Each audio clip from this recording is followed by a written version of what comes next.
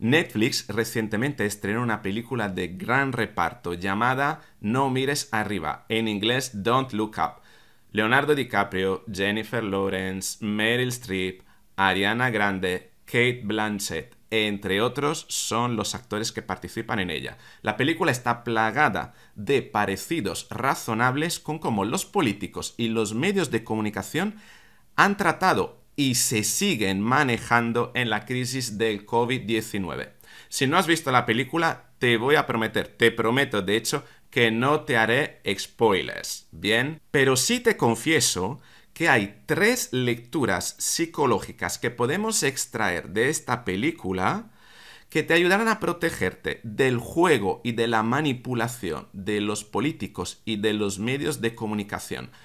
Si quieres saber cuáles son esas tres estrategias y cómo defenderte de ellas, entonces continúa viendo este vídeo. Te voy a hablar precisamente de todo esto todísimo a continuación verás lo útil que te va a resultar para ti, para tu vida, para tu día a día, para cómo tratas y recibes la información que te viene de las noticias oficiales.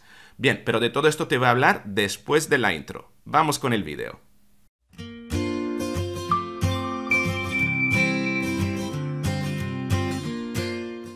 Bien, con este vídeo abrimos una nueva sección de psicología, cultura y sociedad, donde analizaré todas las implicaciones psicológicas que tienen hechos asociados a mm, asuntos culturales, noticias que aparecen en prensa, en la radio, en la televisión, cosas de actualidad de las que podemos aprender cómo manejar mejor nuestra mente y nuestras emociones.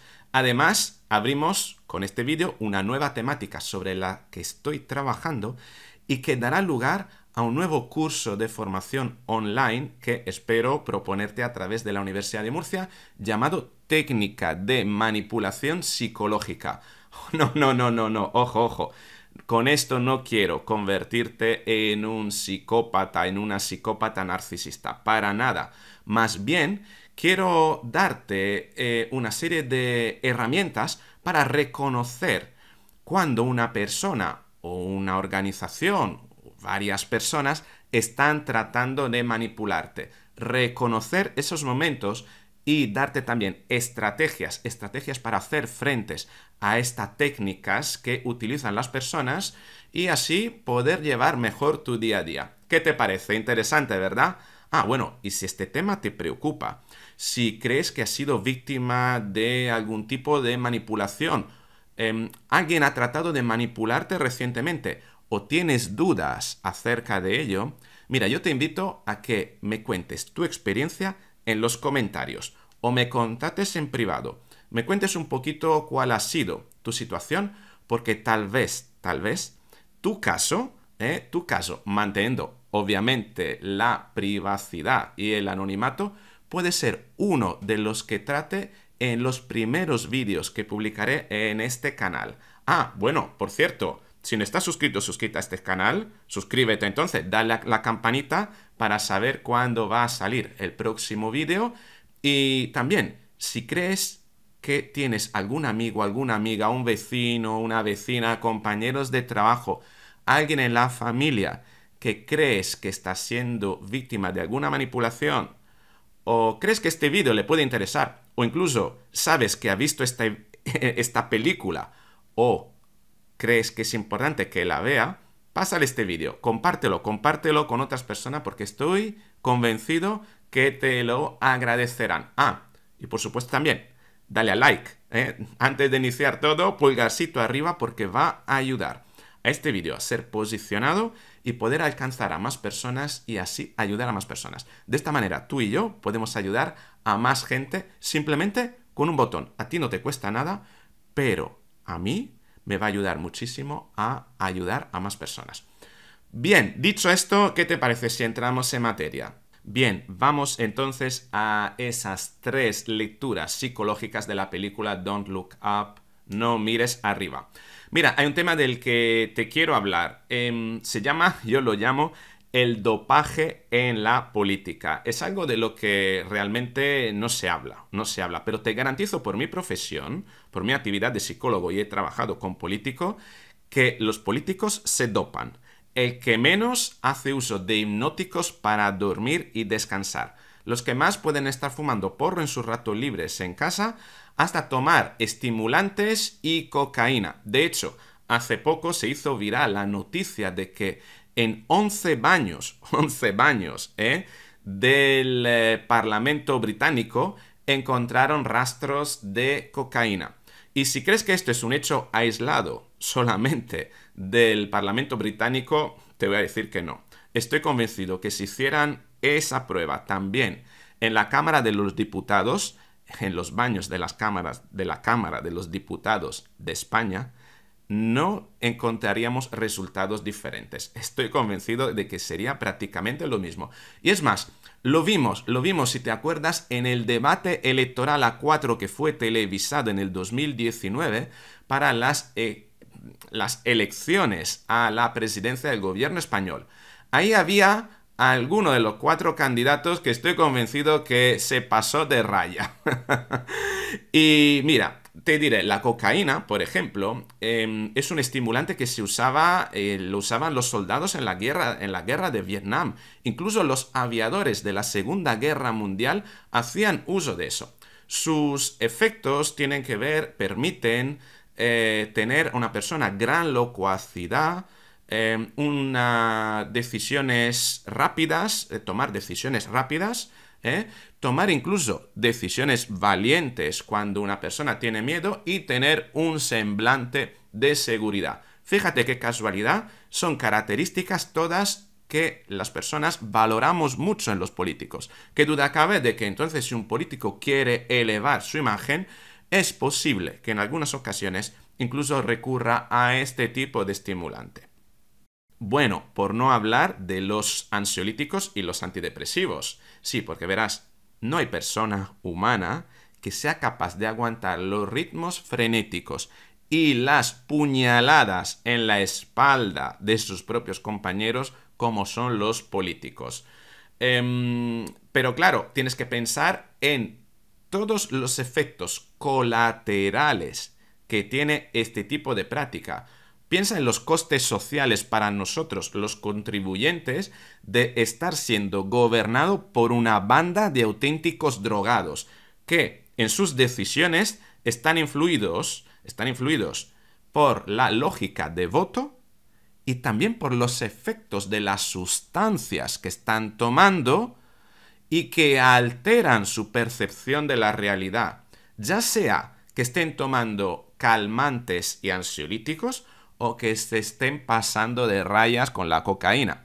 Me da igual cuál fuere el tipo de droga, que estuviera legalizada o no, pero su percepción queda alterada y por tanto sus decisiones también, y esas decisiones condicionan a nuestra vida como ciudadanos y contribuyentes. Por no hablar también de los efectos colaterales a nivel psicológico y de personalidad, Mira, sin hacer nombre, en el panorama político español encontramos un poquito de todo. Desde personas con manía de persecución, pequeños megalómanos con complejos de inferioridad, líderes obsesionados por su figura, narcisistas, patológicos, obsesivos compulsivos que quieren tomar decisiones que afectarán a tu vida, presa por sus obsesiones, más que por una visión lógica, realista y de sentido común acerca de la realidad. Neuróticas que lo racionalizan todo bajo un halo de lógica intelectual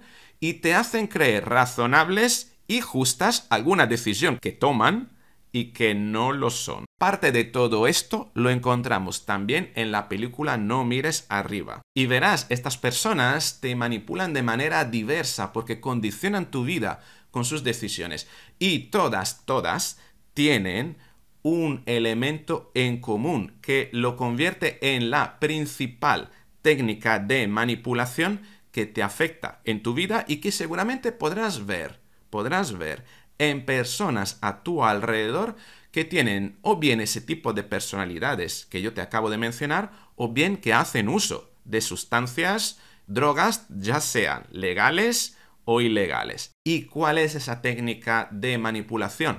La negación de la evidencia. ¿Te suena familiar en los políticos que sean capaces de mentir, mentir, mentir hasta negar la evidencia, verdad? Claro que las personas que están bajo los efectos de las sustancias negan la evidencia, porque no pueden verla, ya que están bajo los efectos de esas sustancias que alteran su percepción.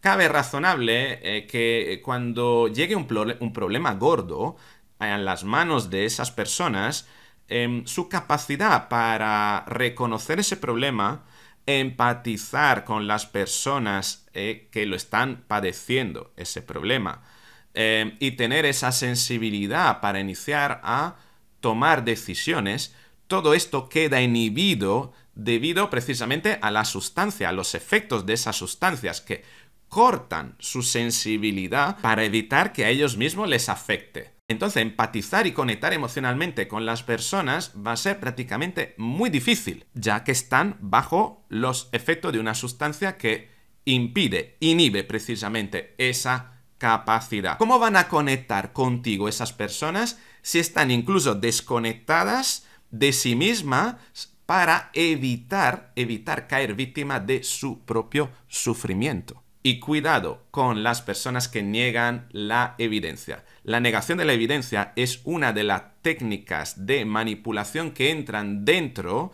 del famoso fenómeno manipulador llamado gaslighting. Por cierto, si no sabes lo que es el gaslighting, si no conoces esta técnica de manipulación, escríbemelo en los comentarios. Puede que prepare un vídeo específico para detallarte realmente qué es el gaslighting, cómo reconocerlo y qué hacer al respecto cuando una persona lo practique contra ti. Aquí realmente, eh, volviendo a la película, eh, no puedo no pararme en el parecido razonable entre la presidenta, interpretada por Meryl Streep, y nuestra ministra de Trabajo Yolanda Díaz. Sí, las dos con un peinado precioso, súper sexy, rubio, voluminoso. ¿eh? También las dos con mucha ambición y muy pendientes de sus indicadores de eh, intención al voto, pero sobre todo, sobre todo la característica que más les une, las dos muy buenas actrices. Bueno, pero llegados a este punto, la reflexión que podemos hacer es, ¿por qué no hay un antidopaje en la política? Porque a los políticos no se les somete semanalmente a un control de estupefacientes. Sí, como se hace con los deportistas. A fin y a cabo, los deportistas tienen que pasar por controles antidopaje para evitar fraudes. Bien, bueno, ¿por qué no se hace esto con los políticos? Ellos pueden decidir si nosotros tenemos que tener un pasaporte COVID y cuándo tenemos que hacernos una PCR. Pero ellos están exentos de todo. ¿Tú qué opinas? ¿Crees que sería correcto en el interés nuestro como ciudadanos que sus decisiones fueran tomadas desde la salud mental en lugar de ser fruto posiblemente de alguna sustancia que altera su percepción? Bien, te espero en los comentarios. Escríbeme al respecto. Quiero conocer, quiero saber cuál es tu opinión.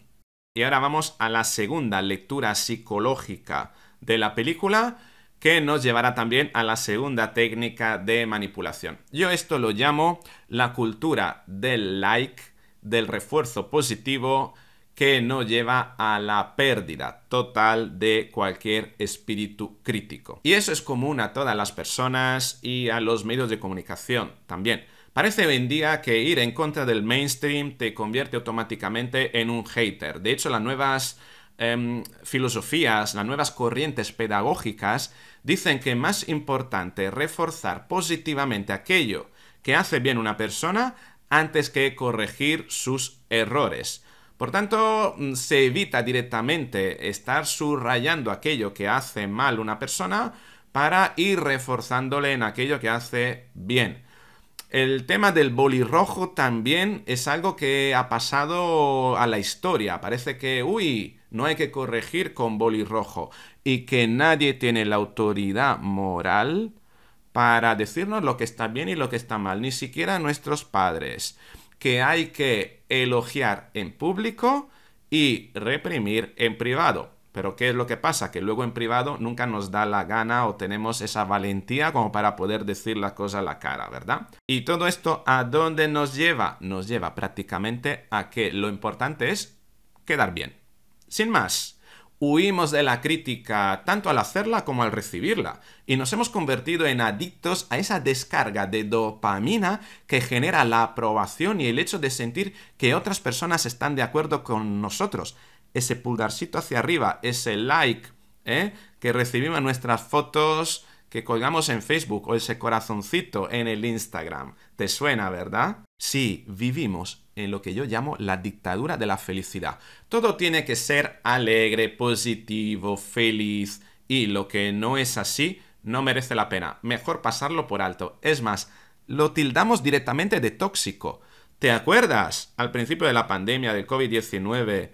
Cómo se trataba la información que venía desde Italia. Uy, la gente se defendía, los políticos, ¿eh? se defendían ahí diciendo que, bueno, eso no era para tanto, ¿verdad? Y el resultado de todo esto es que nos polarizamos. La sociedad se polariza porque todos nosotros vamos buscando acercarnos más a aquellos que nos aprueban y alejándonos de los que nos desaprueban, y hasta incluso lo consideramos, los consideramos como enemigos y tratamos de directamente apartarlos y no verlo. Directamente les bloqueamos y evitamos así cualquier tipo de conversación, cualquier tipo de puesta en común de ideas diferentes con el fin de llegar a una conclusión que sea útil para las partes. Por cierto, al respecto, un 10, sí, un 10 a la interpretación de Kate Blanchett que hace de nuestra Susana Griso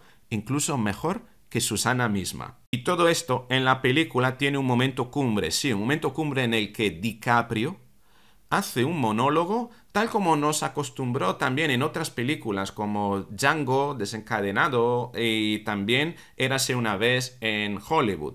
Eh, últimamente este actor eh, se suele reservar un par de minutos en cada película donde hace un alarde de sus capacidades interpretativas que lo llevan al máximo nivel eh, de su historia como actor. La verdad que se está saliendo en las últimas películas. Pero bueno, eh, volviendo a la temática, eh, volviendo a la lectura psicológica de este apartado y a la técnica de manipulación que podemos extraer de este segundo punto, yo aquí llamaría esta técnica la adulación y el cumplido. Sí, porque la gente muchas veces eh, nos hace cumplidos, eh, nos habla en positivo, pero lo único que quiere realmente es con esa técnica acercarse a nosotros, ganar nuestra confianza con el fin de beneficiarse. De hecho, estas personas saben que si te critican, al final tú las evitarás. Y si quieren algo de ti, lo mejor es ¿eh? dorarte la píldora. Lo mejor es hacerte cumplidos, incluso gratuitos, con el fin de que tú te sientas bien con ellos, con ellas, quieras pasar tiempo con ellos, con ellas, y ellos poco a poco se puedan beneficiar de una o de otra manera. Cuidado, cuidado con las personas que te hacen cumplidos y muchos cumplidos y de manera gratuita. Gratuita. Tal vez se conviertan en los primeros que te abandonarán cuando las cosas no te irán tan bien como cuando te hacen tantos cumplidos. Bueno, y ahora vamos a la tercera lectura psicológica que nos llevará a la tercera técnica de manipulación. Y aquí yo quiero hablarte de la dictadura del dogma científico y de la tecnología predictiva. Sí, porque parece que hoy en día todo aquello que venga transmitido a través de una pantallita con unos números y unos grafiquitos muy bonitos, sea la nueva palabra de Dios. Si el teléfono te dice que hoy te sientes feliz, te lo crees y eres feliz. Si la pantallita de la elíptica te dice que has quemado tantas miles de calorías, pues entonces tú te lo crees, aunque tu báscula te esté diciendo lo contrario día tras día. Y no olvidemos, por ejemplo, de la doble mastectomía que se hizo Angelina Jolie. ¿De dónde viene? De una lectura del genoma que ella se hizo y que le devolvió como resultado una alta probabilidad por eh, los códigos genéticos de contraer, de tener el mismo cáncer, de enfermar del mismo cáncer del que habían enfermado su madre y su abuela, si no recuerdo más. ¿Y hasta dónde llegaremos con creer en la industria tecnológica de la salud? Bueno, de momento estamos permitiendo que unos cuantos iluminados que se apelan a un comité de salud y de expertos científicos que desconocemos y cuyo currículum también desconocemos, estén tomando decisiones acerca de nuestra movilidad en el día a día debido a la pandemia. Es más, estamos permitiendo que a través de un código QR eh, que se basa en nuestro historial clínico se pueda determinar si podemos entrar o no en un bar. ¿Qué duda cabe de que la ciencia ha de apoyarse en datos? Pero calibrar a un algoritmo para determinar una serie de decisiones tan trascendentales para nuestra salud, bueno, eh, permíteme eh, permíteme el eh, beneficio de la duda, sobre todo, sobre todo porque ese algoritmo no está calibrado eh, en, base a criterios realmente científicos, sino en base a una arquitectura neuromarketingiana orientada a rentabilizar algún producto que quieren vendernos para nuestra salud. El personaje clave en este punto en la película es el científico y emprendedor y gurú interpretado por Mark Rylance. Em, ese gurú emprendedor que, bueno, es a medio camino entre un Bill Gates, un nuestro Fernando Simón por cómo habla y un Elon Musk, ¿vale? Tú coge estas tres personas, júntalas y tendrás ese personaje. Seguro que hay cosas, hay em, resultados, hay previsiones futuras en los que la tecnología y los algoritmos acertarán. No me cabe la menor duda. Pero también esto le pasa a tu propia intuición. Bien, entonces, eh, cuidado, cuidado con dar tanta importancia y convertir a la ciencia en el nuevo dogma, en la nueva palabra de Dios.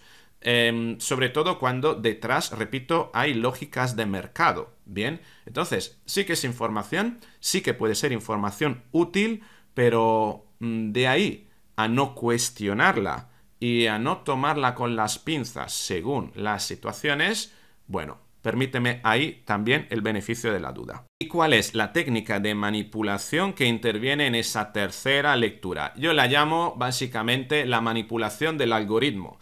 Sí, porque fíjate, si alguien quiere que tú hagas algo, que compres algo o que tomes una determinada decisión, lo va a lograr más fácilmente si consigue que te lo diga Siri o Alexa antes que te lo diga tu propia madre o tu propia pareja. Sí, porque se atribuye a la tecnología un halo de objetividad y de neutralidad que sin embargo no atribuimos a las personas, porque a las personas les dotamos, les atribuimos más bien intenciones, intenciones que a veces no están precisamente alineadas con nuestros intereses. Entonces, desconfiamos de las personas, pero claro, a la tecnología, como es un robot, como es alguien que o algo que está ahí, bueno, se le supone que es neutral, que es objetivo cuando sin embargo no es así. Está siendo calibrado ¿eh? por alguien que pertenece a una industria que pretende y quiere que ante una serie de circunstancias y ante una serie de condiciones, la decisión a tomar sea una concreta. Bueno, bueno, bueno, ¿qué te parece este análisis? Fíjate, hemos visto tres lecturas psicológicas y tres técnicas de manipulación.